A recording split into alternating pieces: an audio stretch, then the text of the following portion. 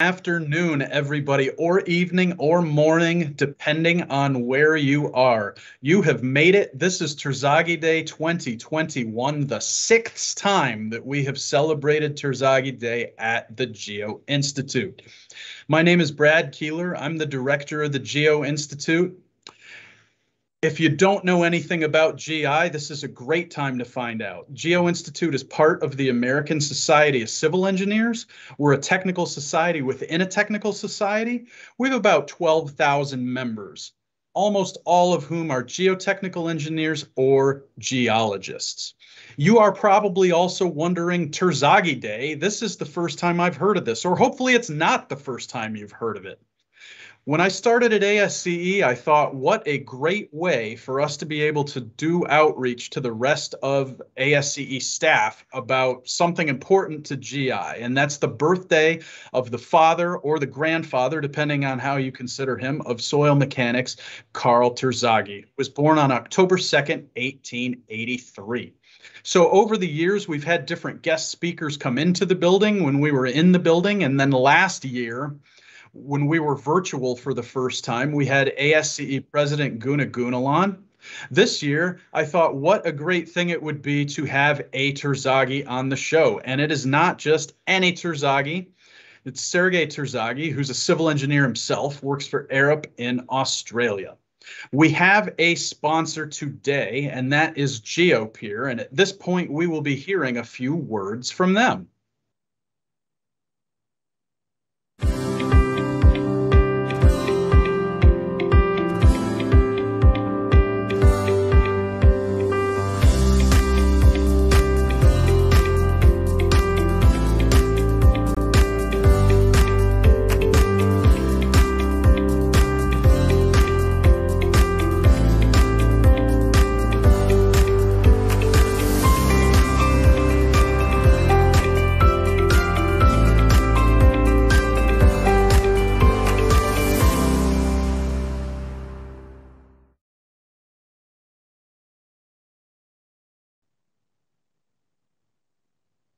So I will do one more thing.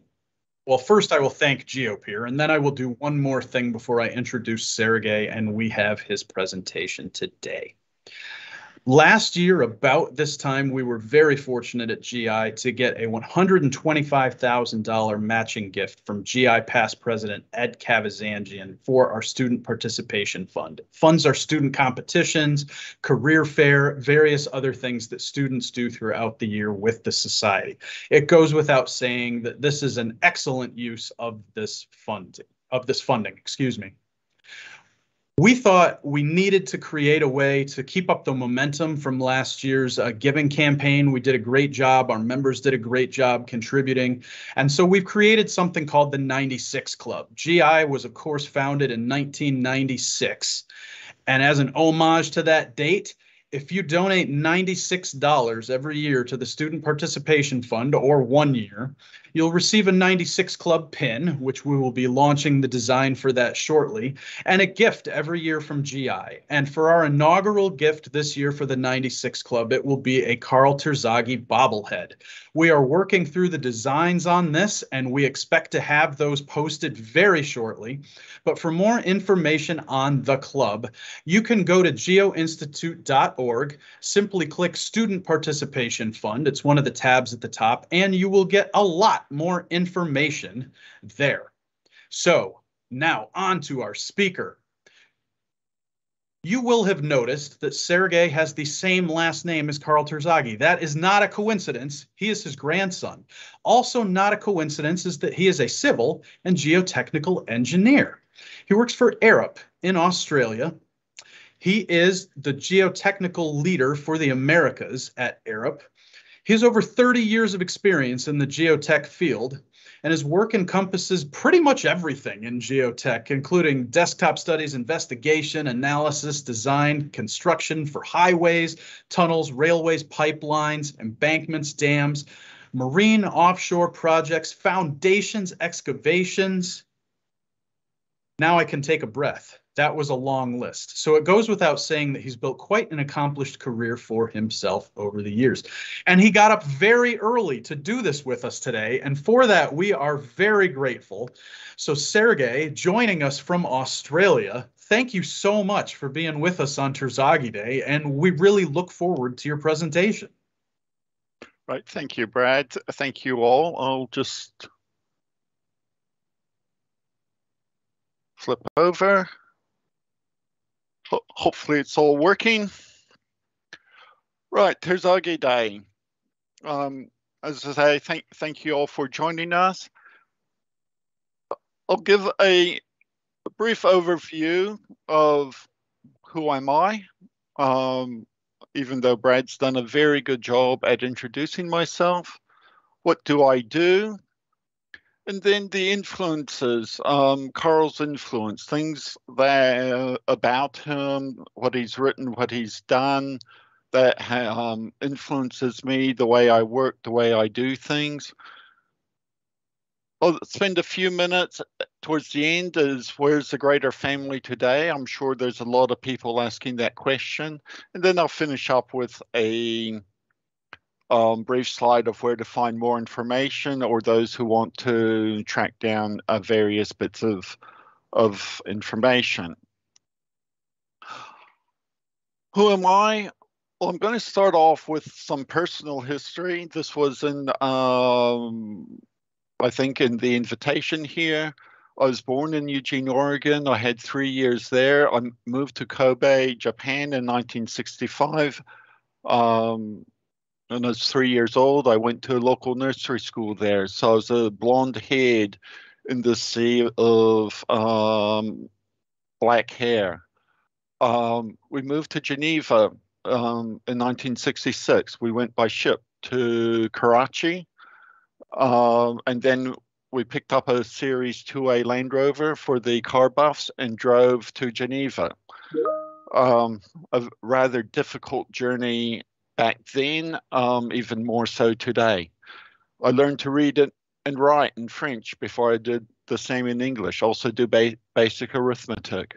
We moved to Santa Cruz, um, California in 1969. Again, by ship and by car. We shipped our car in the same, same vessel. Uh, we moved to Palmerston North in 1973 via Central and South America. Um, same Series 2 Land Rover, and we shipped the car um, to New Zealand. We were quite a long time in, in New Zealand, as you'll see. I did spend a year in Steyr, Austria. I'm still doing high school. Um, I learned German there. I was with relatives. Um, got to know the Austrian side of the family.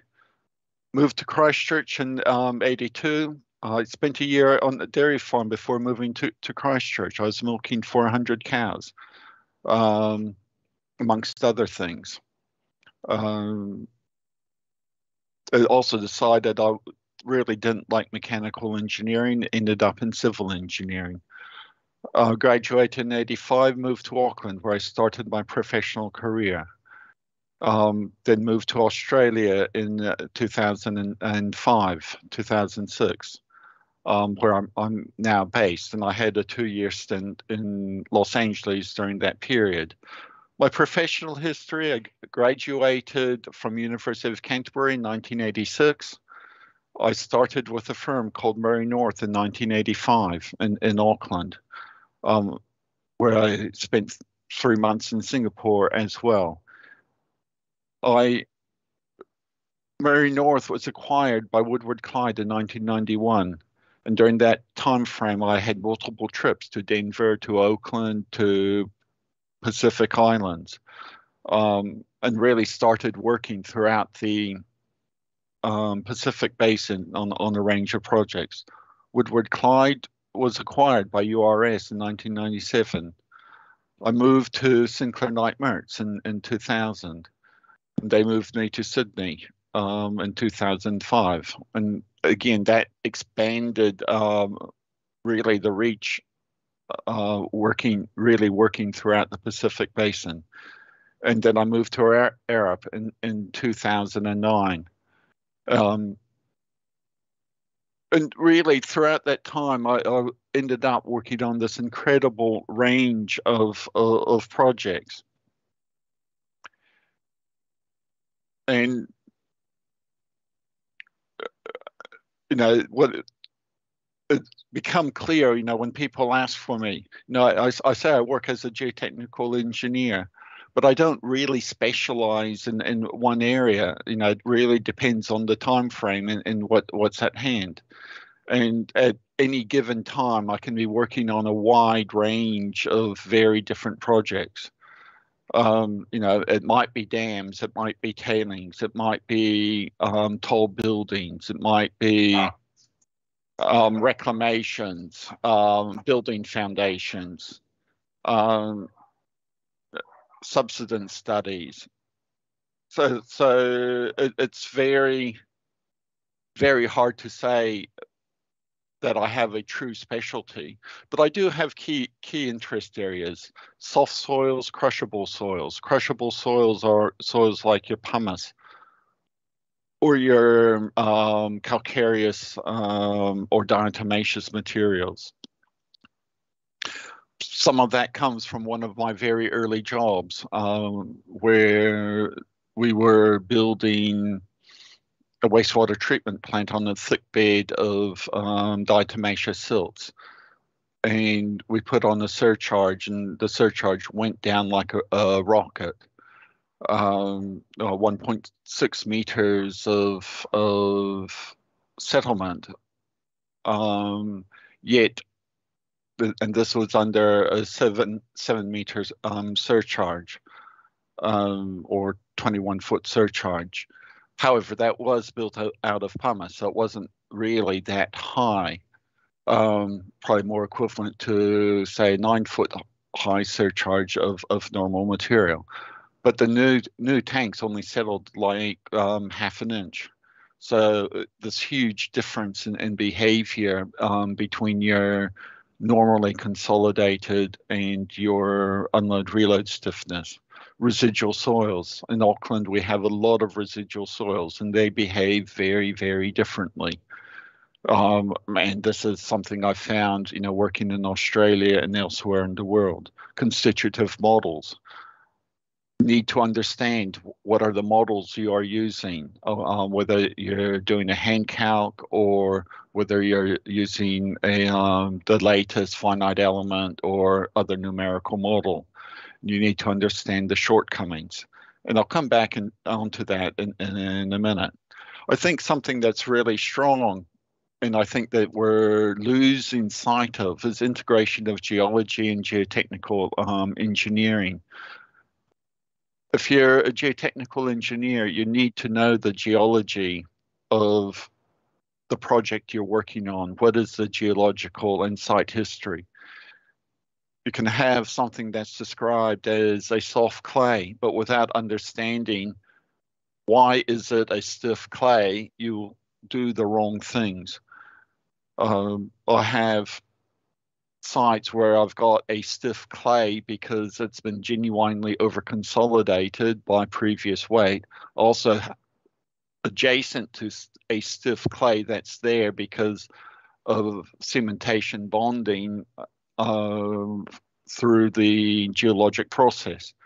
And they behave in completely different fashions, and, and you need to apply different models and, and, and different thinking to each of course, also proper application of, of theory to, to practice. And a lot of what I do now is making sure people are thinking about the fundamentals and um, how you applied those correctly to the project. And as a consequence of, of age and time, I'm, I now work more as a technical advisor and a reviewer on, on, on major projects rather than, than doing things hands on. I think it's also worth noting that I've lectured at um, various numerical modeling workshops globally since about 1996. This is enough about me. Um, I think it's worthwhile uh, talking about Karl's influence on what I do.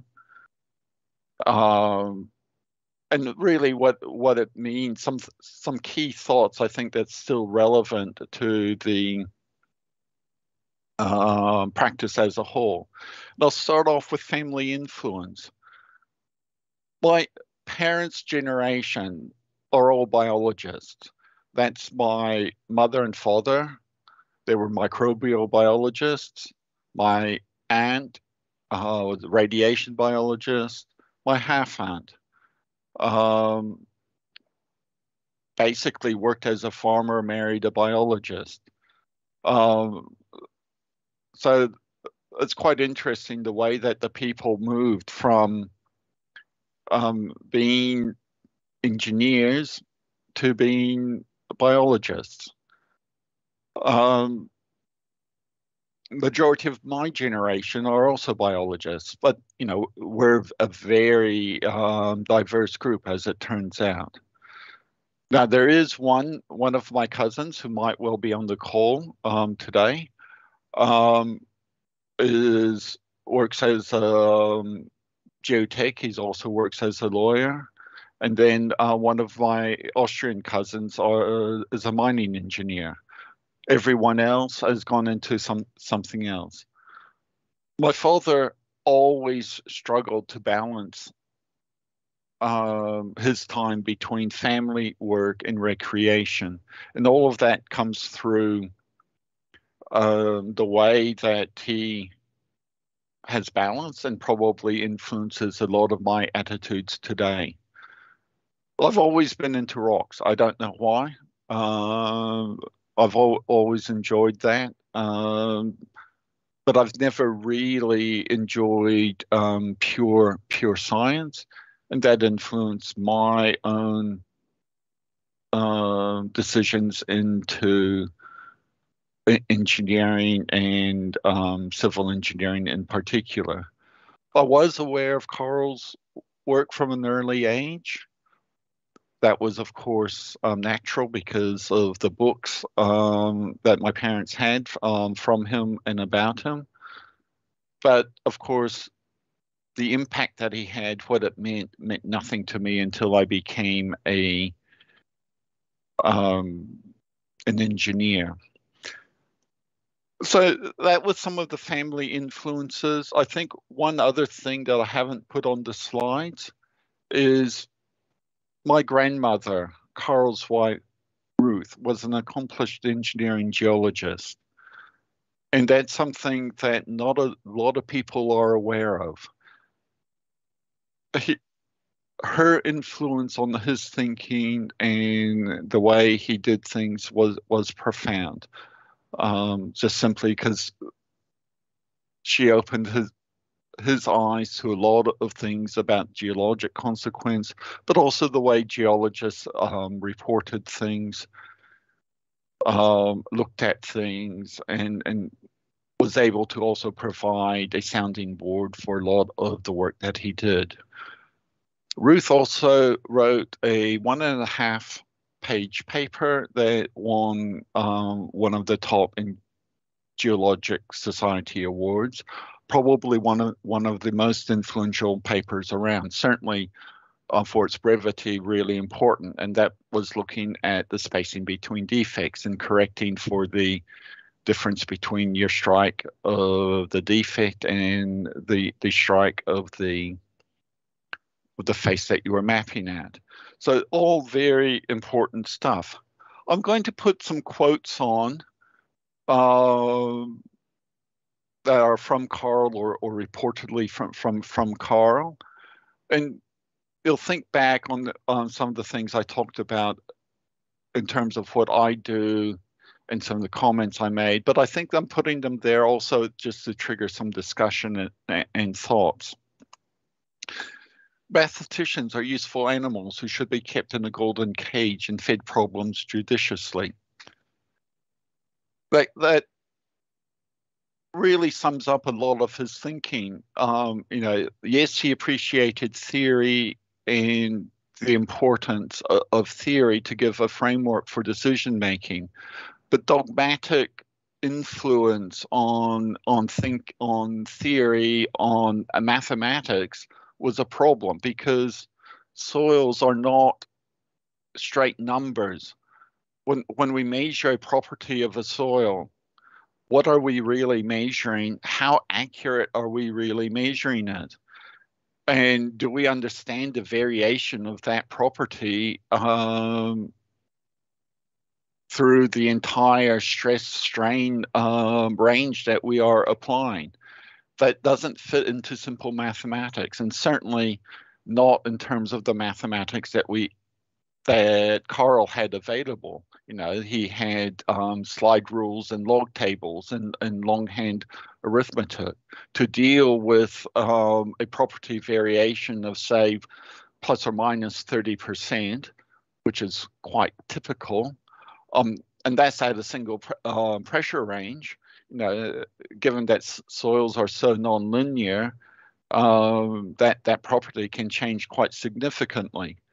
And it's dealing with with that, um, and, and it's something that I think we lose sight of today is that we get too hung up on on our black box computers um, programs without asking ourselves what is are we really being told? It's not a black and white mathematical answer. Uh, um, and, and it's something that we need to go back and, and think about. Engineering is a noble sport which calls for good sportsmanship. Occasional blundering is part of the game. Let it be your ambition to be the first one to discover and announce your blunders. If somebody else gets ahead, take it with a smile and thank him for his interest. If you begin to feel tempted to deny your blunders in face of reasonable evidence, you have ceased to be a good sport. You're already a crank or a grouch. This comes from um, clients, consultants, and contractors um, that, which should be essential reading for anyone who aspires to be a, a geotechnical engineer, along with what I'd call the companion papers of um, Ralph Peck and John John Dunnicliff. Um, all really essential reading and, and highlighting some of the philosophies that we need to be thinking about. We need to be challenging ourselves. Soils are not or geotechnical engineering is not something that you can just go and follow a recipe. Every soil is different, every project is different. You cannot take copy and paste what you did before and say it's all going to be okay. We need to look at it, you need to think it through. You need to look both at the details but also the wider picture. What is the real question that you need to be looking at? And, and for me, this is really, really important because for whatever reason, many of my early projects have been literally um, state of the art. And there was no precedent, there was no recipe for me to even look at to give guidance. And so I need to, to follow through. I needed to look and, and understand the, the fundamentals of, of the science of the art and and make decisions on that basis. And and that of course meant i made mistakes and i needed to find them first before other people did. The worst habit you can possibly acquire is to be uncritical towards your own concepts and at the same time skept- skeptical towards those of others once you're at that state, you're in the grip of senility, regardless of your age. This is always an interesting one because while you need to be very critical of your own,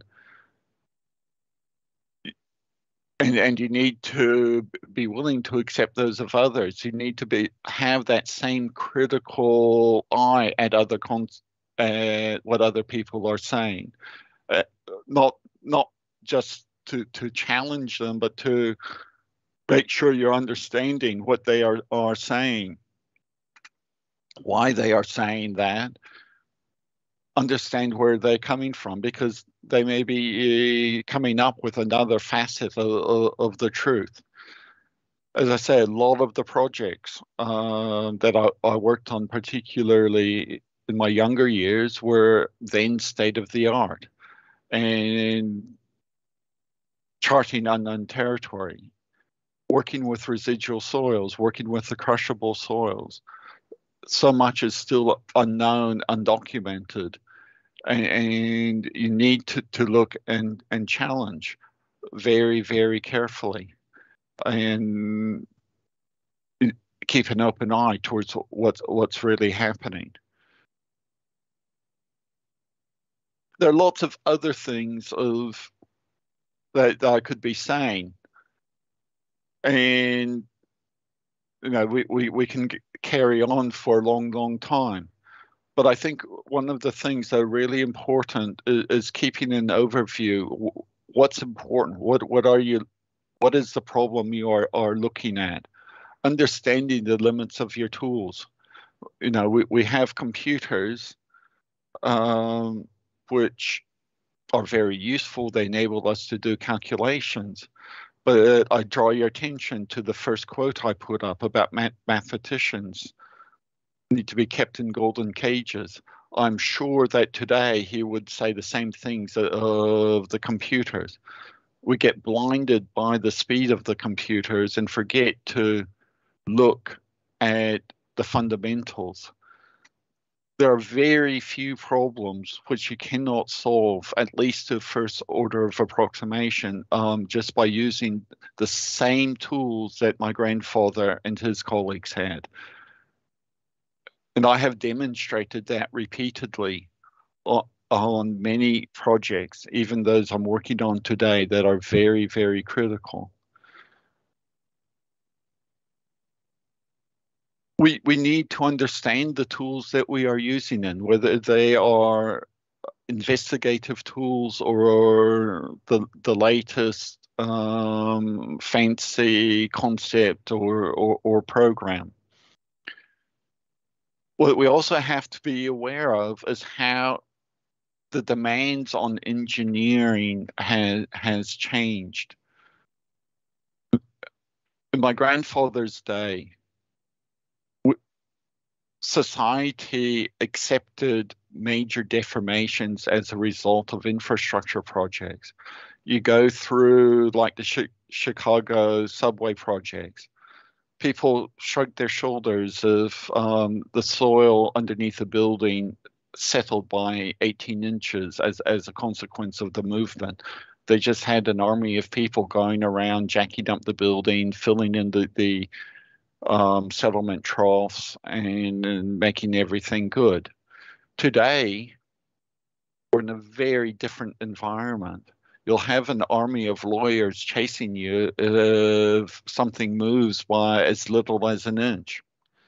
Yet, has our investigations really improved? Have our calculations really improved to that quantity? I don't think so. If, if we are serious about working to those sorts of tolerance, and I've had projects where we've had to work um, to quarter of an inch um, tolerance, and that's not a, a, major scientific type project. That's just an everyday type type project. You know, we, we need to think very differently about the tools that we use, the investigations that we use, how we apply the knowledge that, that we have. We need to go back and, and really understand the fundamentals and, and apply those rigorously. And you know push push the boundaries. We think we have a very good understanding of, of soils we have a long way to go and a lot of, of what we learn on a day-to-day basis needs to be updated much of what we do today is in reality not that much different to what my uh, grandfather did despite the fact that uh, we have all these modern tools the one thing he didn't have was geotextiles. That may well be one of the more interesting advancements from, from his day. And, and it's so, something that we need, keep needing to come back to is what are we doing? Why are we doing it? I think some other things that that are are relevant. You know, being who I am, being the grandson working in New Zealand suited me. I had a low profile there. I could develop at my own pace.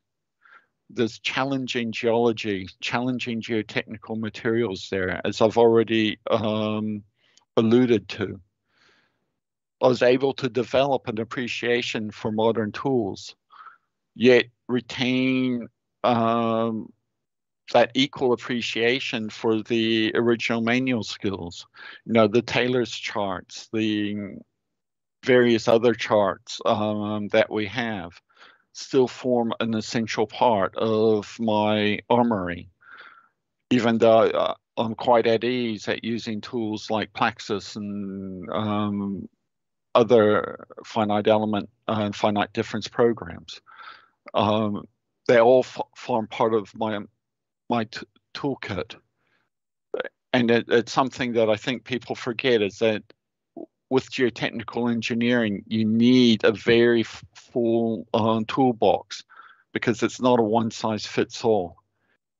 Uh, and and you know you're working out on on on site uh, remotely you may not have power you need to have ways of calculating things uh, without all the modern accoutrements um, and yet also you need to have a set of eyeballs um, you know you read a lot of the original stuff it was very evident Karl felt the need to understand the geology of the site before he could develop a design. And it was very common to have notes. Karl remained on site for three extra days for further observations in the field. This is something that we're not good at doing today is making sure we have those proper field investigations, field observations. We're also missing missing the time uh, to to sit and think. Um, I remember as a young engineer sitting or standing actually next to the fax machine with my boss. This was in um, 89.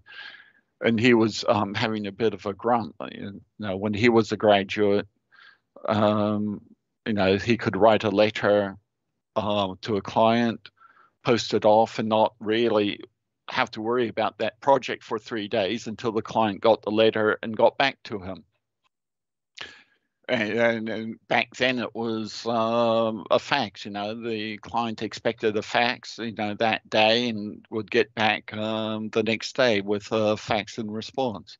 Of course, today we have emails and uh, other social media, which is demanding immediately immediate response, or at least would if you let it.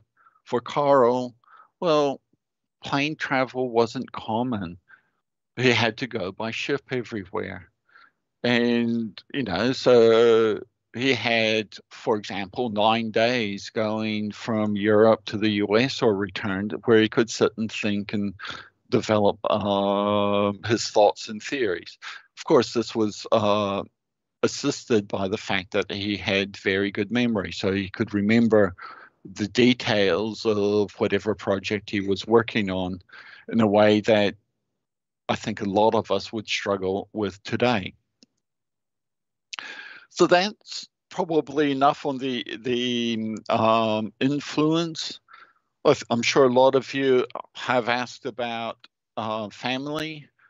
Know, as I've alluded to, we're now largely dispersed through Austria, USA, New Zealand, and Australia. So Karl's sister Ella um, grew up in Graz, remained in Graz, married in Graz. Her family has remained largely in Austria. Um, dispersed throughout Austria, to be honest, um, but largely in Austria. Um, Karl's first daughter, who's my half aunt, um, they're largely in Austria as well the one of his great granddaughters, um, daughter of one of my cousins, now works as a mining um, engineer and is somewhat mobile um, throughout Europe. Um, Karl's son, my dad, um, microbiologist, he's now retired in, in New Zealand. Uh, with my siblings in New Zealand and the US used to be in Europe as well, but one of my brothers has just moved back to New Zealand. And then Karl's youngest, um, daughter, the radiation biologist, has now retired in Colorado with um, son working as a lawyer and a geo water engineer. And, and um, her daughter her daughter is a doctor um, working overtime. And you know, if you want more information or want to track down things, um, you know, NGI has the Terzaghi and Peck libraries. So the vast majority of the paperwork, um, et cetera, et cetera, et cetera, resides in the Terzaghi library at, at NGI.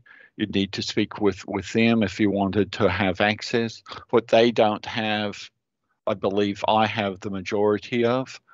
Um, and certainly I have a lot of the slides from his various talks and, and stuff like that, which I'm trying to get scanned in for posterity. Of course, there are the various universities um, at Graz, Vienna, and there's the two main institutions in Istanbul and I'm sorry, I, have forgotten the names of them right now, which is a bit embarrassing given that I visited them both um, fairly recently, but tracking through the history and um, they've changed names. And unfortunately, I, have misplaced my notes um, on, on the names. And of course, MIT as well all have various bits of history. There's certainly um, plaques and busts at, at Graz and, and Vienna. Um, for those who are interested, there is, of course, a plaque on Karl's house in Graz, um, where he grew up, and it's still in family hands. Um, there's also a plaque um, in the house where he was born in, in Prague, or at least there was when we visited in, in the 60s. Of course, I, have to make the um, plug for two key references. The Engineer as an Artist by Richard Goodman, published by ASCE Press. For those who really want to know the history, um, that's a very good read. And also From Theory to Practice in Soil Mechanics by Lawrence Bjerrum et al. Um, that provides a good insight and, and selection of Karl's papers um, and you know thoughts of people who were working with him at the time. Um, a very different um, perspective compared to Dick Goodman's book. You know, Dick, spent a lot of time talking with family, um, talking with um, those who are still alive to to get an understanding he also learned German to um, be able to read a lot of his original um, writings. Um, and given it was a very old Germanic script that he wrote in, um, that was a major uh, undertaking. Uh, so well done, Dick, on on that one. I think now I will call it quits and pass over to Brad for um, question and answer. That was great. Thank you, Sergei. I, before we get into the questions, we'll do a couple things quickly. You may have noticed a tree behind me, uh, the viewers out there, and you are not stuck in some kind of time warp. That is a Terzaghi tree. We decorate it every year and the ornaments are photos of past Terzaghi lectures, uh, quotes from Karl Terzaghi. Uh, we have a stamp that Karl was featured on in Austria several years ago as one of the ornaments as well. So we put this up every year for our special occasion. The other thing that we do is we have these uh, Geo Institute mason jars, and we make stratified food in them. And so I made mine today. It's a, it's a taco in a jar, and we've got black beans, peppers, uh, tortilla chips. Um, what else is in here? Salsa, another black bean layer, and more chips. And we have several other entries. You can check those out on our social media feeds as well. So we'll get into a few questions here from the audience. First, I will ask a few of mine that I assembled as as you were speaking, Sergei. I noticed one of the first quotes that you put up was from a collection by Ralph Peck. And so the first thing I wanted to ask you is what kind of relationship you've had over the years with uh, sort of that second generation of uh, geotechnical engineers that that came after Karl, and uh, any any special stories about any of them, whether it's Peck or Seed or Arthur Casagrande or anybody from that group. The only one, well, there's really only two from that group that I knew professionally, um, being Ralph Peck and Charles Ripley.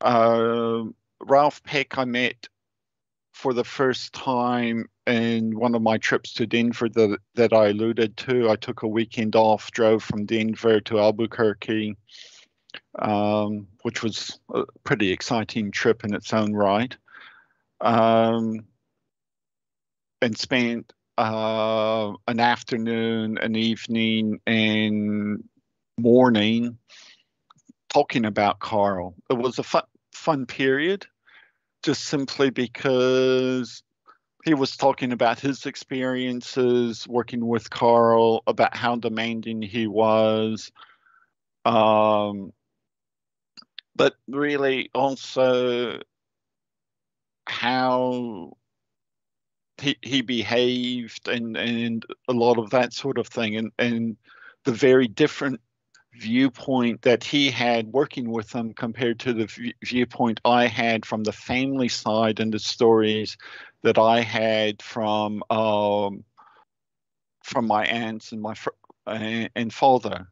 Um, the time I spent with Vera, of course, in, in Steyr was w- with uh, my my half aunt, and that provided a very different background compared to that of my aunt or, or my father. And, and swap, taking those stories swapping those around was a lot of fun. Similarly with charles i spent um, a few days with with charles ooh, was about 1990 um, so that was always that was again a, fun couple of, of days um, there. That was again around about uh, well early early 90s uh, again. I did know lawrence but I, that was from the time i was in geneva. Um, so of course really didn't appreciate the um, connections or the importance uh, i think what I remember most about Lawrence is up until we moved to New Zealand, we got this huge box of Norwegian chocolates, uh, one kilo box of, Norwegian chocolates every Christmas, um, which we, of course we we rationed. Um, you know, have one chocolate um, per member every night, so it lasted about a month. Um, that is probably what I re- remember most about Lawrence. No, we did go and visit um, Oslo NGI. I, I do actually have a few memories of, of, of, that trip, even though I was what six or seven at the at the time. Um, so yeah, that next generation, I really outside of those two contacts, I, I didn't know um, that well. Unfortunately, that's that's a good memory though, getting the chocolates every year, and I'm glad that I wasn't the only person as a kid who rationed things out like that, so that they would last longer and appreciate them a little more. I, my sister always thought I was weird, but who was laughing when I was having Halloween candy after New Year's? Exactly. Think, um, it's always fascinating to me. One of the most fascinating things about the geotechnical profession is that there are so many people who still have contacts with the people who were there at the beginning. I don't think there are any mathematicians out there, maybe I'm wrong, who met Ptolemy or Archimedes you know 2300 years ago. So it's it's fascinating one that the field has evolved so much in such a short time and two that we have those connections and those links. It's it's really cool to me. I want to ask you one. I don't know how often you get this question. Um, you mentioned the dairy farm. What lessons did you learn from working on that dairy farm for that year that you, you kept with you throughout your career? Uh, well, probably the biggest one was that I had no affinity for mechanical engineering. I'm sorry for those who are, are um, inclined that way. Um, but interestingly, neither did Karl. Um, if you followed his history, you know he did command a test pilot um, or airplane testing squadron for a while. Um, so he had to have um, contact with mechanical engineering, but he really disliked it and you know really did not like driving cars or having anything to do with mechanical whatsoever. Um, appears I've inherited that that condition. Um, I, I think some of the other things that I learned, well, was really a lot about the importance of redundancy. Um, you know, seeing how things actually behaved in, in, in practice as versus how they behave in the textbooks. And also gain appreciation for sequencing, uh, how you had to sequence things. You know, building uh, fences, building water lines, you know, digging digging soils um, down and you know have a first-hand experience of what saturation does versus unsaturated soils. So it was more the practical side rather than the theoretical side, I think, were the key lessons. Well, that is great. And you gave us a perfect segue here into one of our questions from our viewers on unsaturated soil mechanics. And the question is, how does unsaturated soil mechanics fit into classical soil mechanics? And is there a need for greater integration and reconciliation of those two theories? Um, well, if you if you follow the academics, of course, um, classical theory is just a subset of unsaturated soils. Um, so there already is full integration at an academic level. I think there does does need to be a much greater appreciation of unsaturated soils in day-to-day practice, particularly in the area, areas, Australia, um, Southern California, um, well, actually, most of southern U.S., um, many parts of Asia, we have very arid climates, or at least climates where you fluctuate between saturated and unsaturated areas. It's always annoyed me. I can't use properly unsaturated um, soil mechanics in my day to day practice. Partly people get so wrapped up about having to design things, ignoring suction. And yeah, I can understand the reason for it because there have been notable failures where people have ignored the consequences of of unsaturated soils becoming saturated. I think a bigger problem and a bigger challenge is for the industry to come up with a proper set of details and principles so that we can use effectively unsaturated soils in, in day-to-day practice. And certainly that's one of the things I'm, I'm working on is to try and get some of the basic data so that we can do that. So we're going to skip around to something completely different here. Another viewer question is whether you have any interest or whether you've thought about the relationship between microbiology and geotechnical engineering. I mean, I'm assuming someone in your family must have explored this topic at some point at length and why, why everybody is in these two fields or so many people are in these two fields. well, that's always an interesting one. Um, and it's actually some i know it's a hot topic um, today is can we use microbiology to generate you know self-healing uh, materials be it concrete or one right now is to apply various waste products and use bacteria to create cementitious agents. And of course, there's always the things that, you know, as you work through your topsoil and all of that, um, you've got the microbial influences on the behaviors. In Australia, you've got the acid sulfate soils, which are basically a byproduct of um, bacterial processes. So that lots of opportunities there, and I think it's becoming a lot more of an active topic. Um, I think there's um, a lot that we could be looking at there um, in the future as we look to, for a more sustainable future.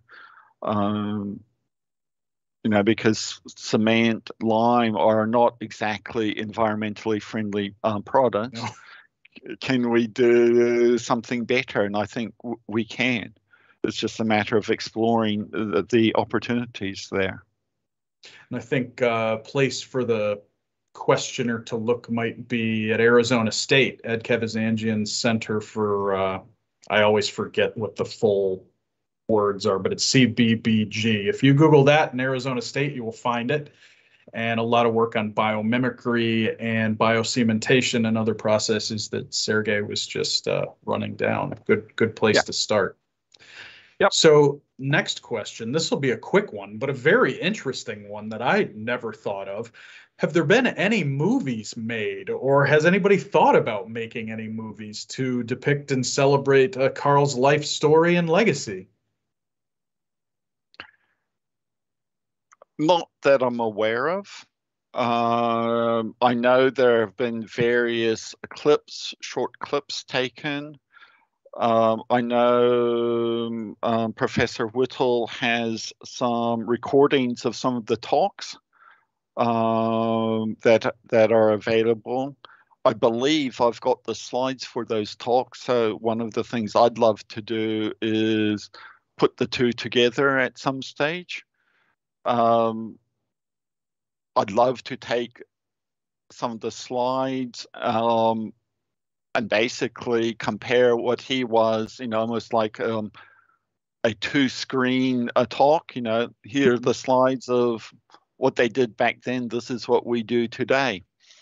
Um, but that's the the limit. Um, I'm not sure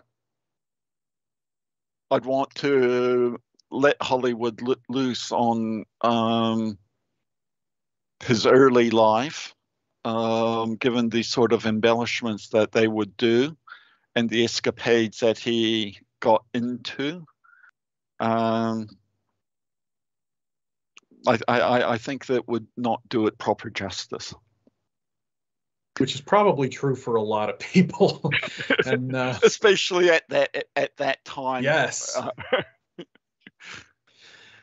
so here's here's another one a little bit more of a technical one. Um, Jean Louis Briaud told a story and tells a story about the three dots still listed on the first bearing capacity pressure charts that uh, Karl Terzaghi developed when there were very few case studies.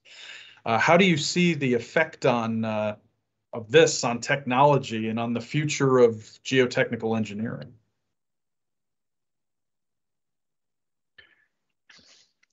That's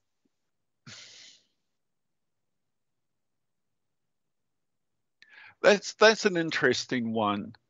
Um, you know, things like the bearing capacity equations, you know, generically, um, slope stability. There's a lot of these sort of limit equilibrium or, or pseudo limit equilibrium equations. They're simultaneously extremely useful. You know, as I discussed, I use I use them every day. Uh, and or if I don't use them, my colleagues will use them when they're doing the sums. But the limitations, uh, both in terms of the derivation and what they rep- represent, are, I think, also a drag. And I'd really love for someone to approach bearing capacity using um, modern soil mechanics and see whether we can do something better. Having said that, how well do we know the soil properties? You know, um, we can get something better, but we're still plus or minus 30%. Um, so, you know, it's an interesting question. I think there's a lot of work that could be done there, a lot of very useful work. But at the end of the day, um, doesn't make that much difference. Um, you know, if you look in Bowles' textbooks, he compares the performance of three or four different uh, bearing capacity. At the end of the day, they all perform equally well, um, despite the simplicities and everything else. I'm not sure if that fully answers the question, but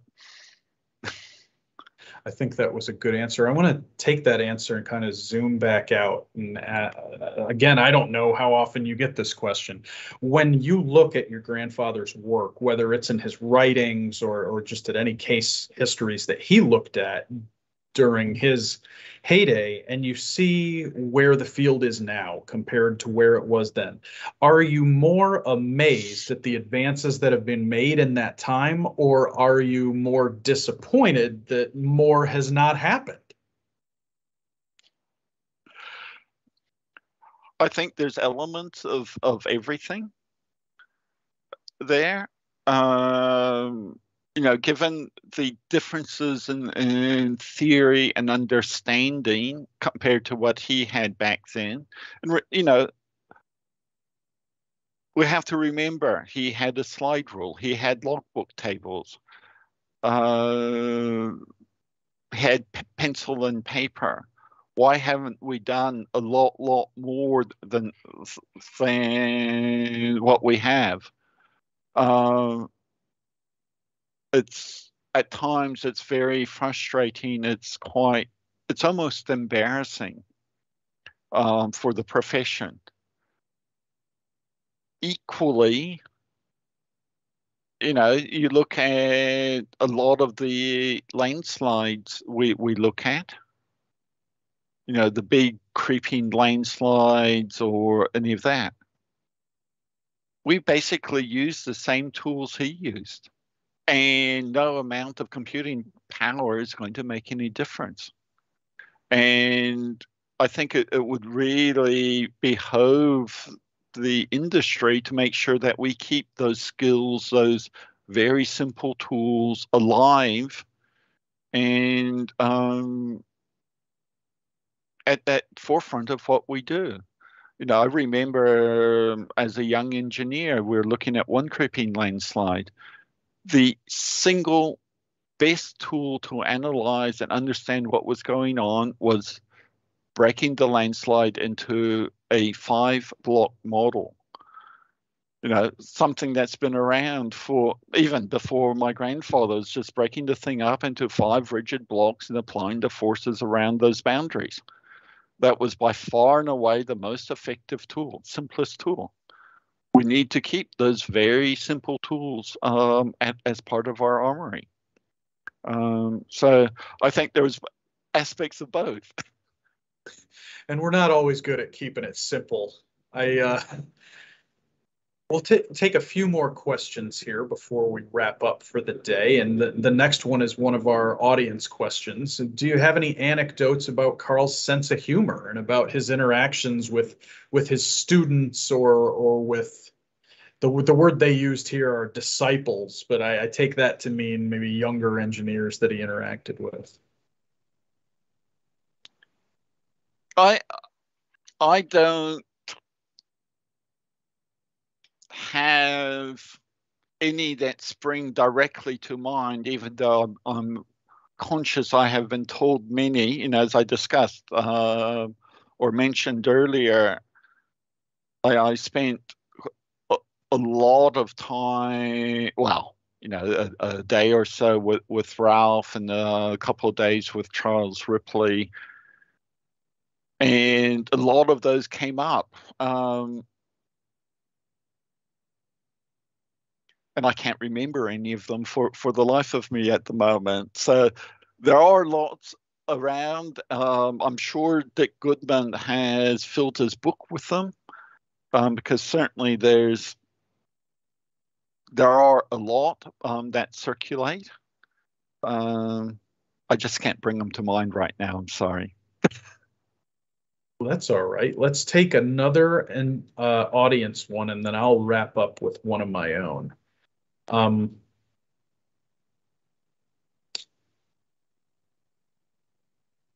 sorry, I'm I'm on double duty today, so I'm picking through these questions as well.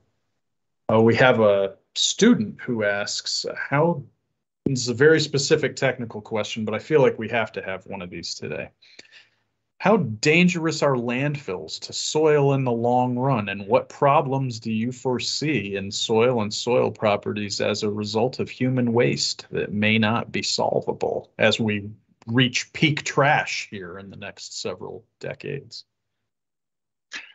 That's a very interesting one. And actually, as it turns out, it's one that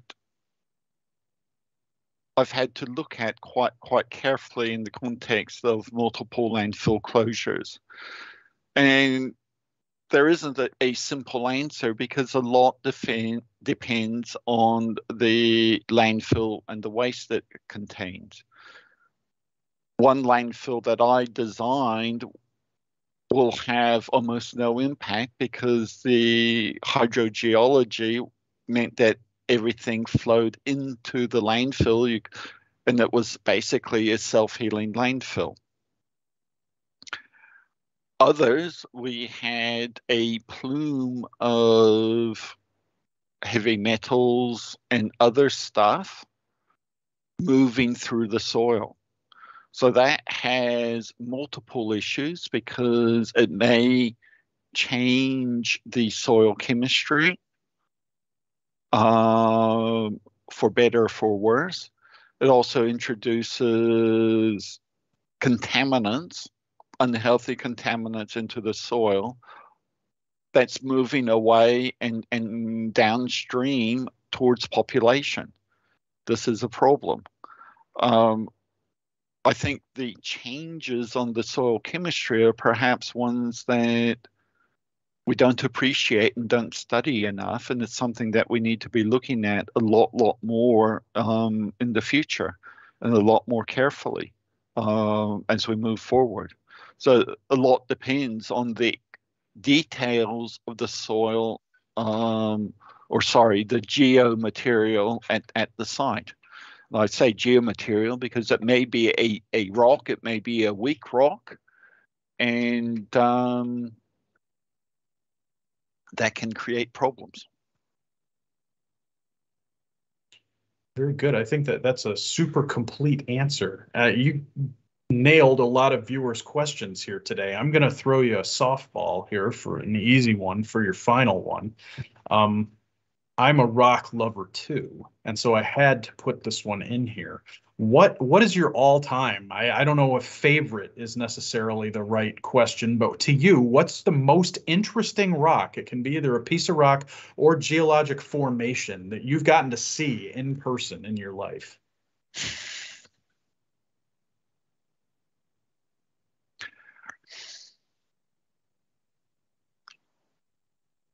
I, I think I don't know that I have a favorite per se.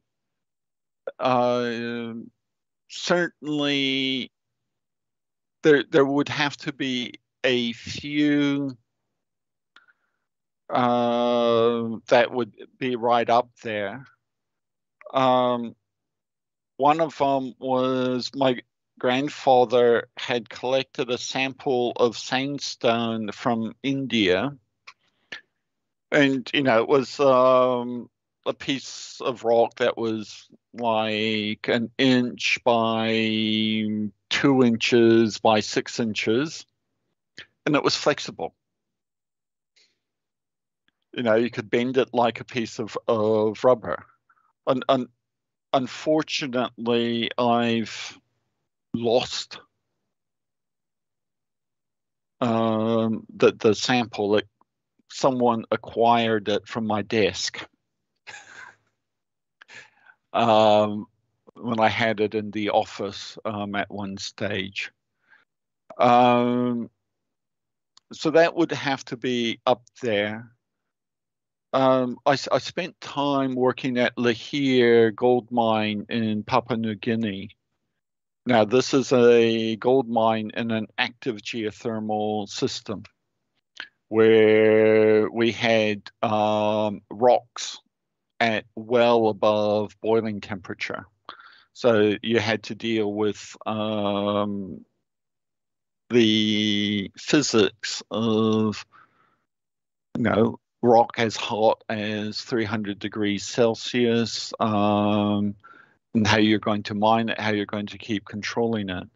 But one of the consequences of all of that was that you had active silica and active um, anhydrite deposition. And I collected a few rocks from there that were really um, quite spectacular with the silica deposition process and really showing, you know, just how rocks alter in, in these sorts of, of influences. They they were quite quite cool a, as well. Um,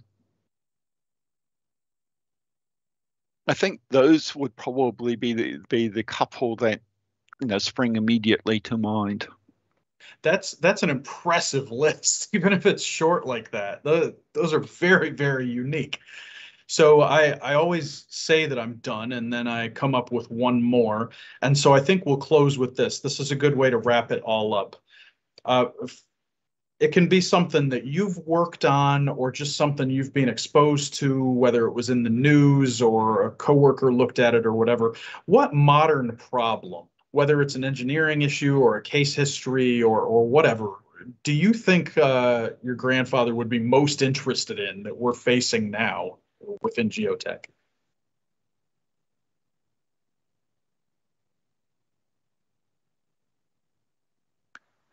I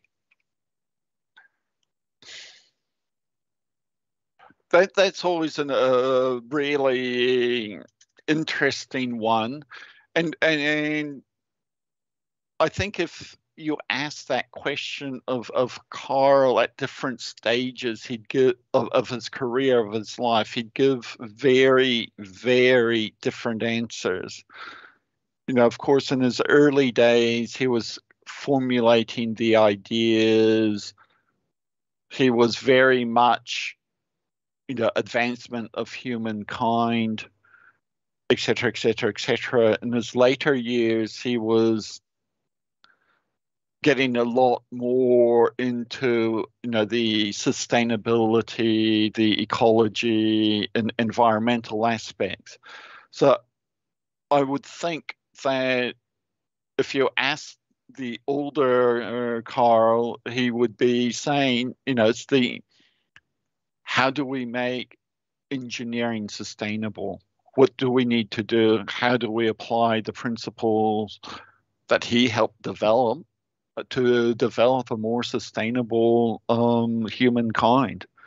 And, and certainly the discussions I had with Ruth, my grandmother, were very much pointed in that direction. And actually, um, with Vera, my my half aunt, um, she was saying exactly the same sort of thing, that where she ended up having uh, five children and she never to- told Karl about the last two because he was con- already concerned very mu- much back then, and this was the late 50s, early 60s, about um, how sustainable people were becoming. So I, I think that's the problem. That's the real challenge that he would be throwing himself into today. Very worldly. I mean, not that I would not expect that, but uh, that is an amazing answer. And really, I think a lot of information for thought for all of us as we go about our day and throw a bunch of stuff in the trash and the other wasteful ways we live our modern lives. But those, thank you so much, Sergei, for your perspectives on these really varied issues. I think the presentation was great and gave people a lot of resources if they want to find out more about Karl. And certainly the information that you presented too was just some great anecdotes and some great quotes. Um, again, everybody watching, please get over to our Twitter feed. Check that out. We have the food that um, that we all made today in our jars, and my taco in a jar is not looking so great. It's starting to run together, but it's going to hold up until dinner time, I think, when it gets mixed with some other stuff. We also, as a reminder, we have years of Terzaghi lectures posted to our YouTube channel. Right now, I believe we go back all the way to 2011 constantly. And as we find more, we are posting those. Tomorrow, for example, we'll have the 2008 Terzaghi lecture that was delivered by JP Giroud at GeoCongress 2008 in New Orleans posted. So you'll want to be on the lookout for those on our YouTube channel. There's all kinds of other good stuff up there as well. So check that out. We post new videos all the time. We would love to have you subscribe, get notifications, and then we'll let you know every time we post something, which is really frequently. Our next live stream, just like this, is going to be Geostrata Extra on October 21st, where we do an interview with an author from the most recent issue of our magazine. Subject will be amusement industry geotechnics. And you can sign up for that on our Eventbrite page or look for the link directly on our YouTube channel. And we hope you'll join us and see you in the chat. We want to thank everybody who joined us from all over the world today, whatever time zone you're in. It's great to see so many people from all over the world. That, that makes us really happy. And this was again our sixth Terzaghi Day, and I think it was the biggest and best so far, and in no small part because we were joined by Sergei. So Sergei, thank you again for everything today. This was wonderful. You're welcome, and have a great day. And everyone enjoy the rest of your Terzaghi Day, and uh, we hope to see you soon. Thanks.